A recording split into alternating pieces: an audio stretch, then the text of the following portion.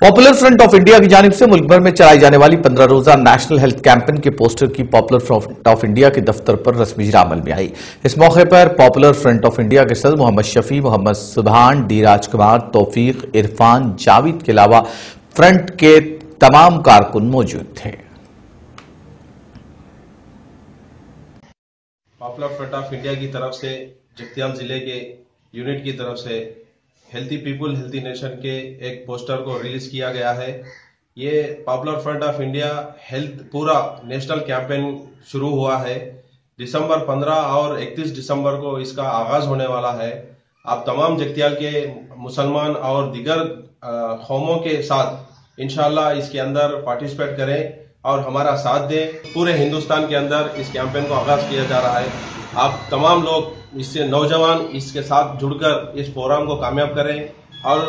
गैर जरूरी जो चीजें हैं गुटखा वगैरह सिगरेट ऐसे चीजों से दूर रहकर अपने सेहत को हिफाजत से रखें जब आवाम सेहत से रहेंगी तो मुल्क हिफाजत से रहेगा